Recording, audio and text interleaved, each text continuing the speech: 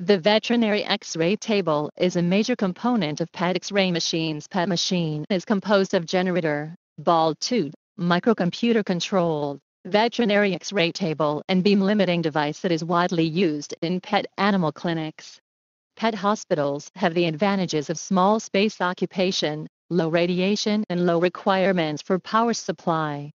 The veterinary X-ray table panel with no scratches is for animal use and with doctor detectors for installation.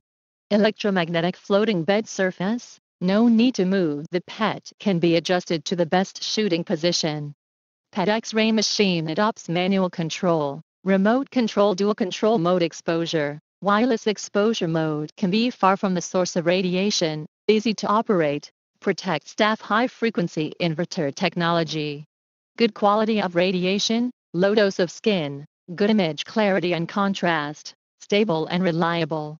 The Newheek Veterinary X-ray table with or without bucky has been divided into a variety of types with fixed, mobile and four-way floating X-ray tables and with or without bucky, with or without bucky, with or without a sheet box. Newheek Veterinary X-ray table can meet your different purchase requirements.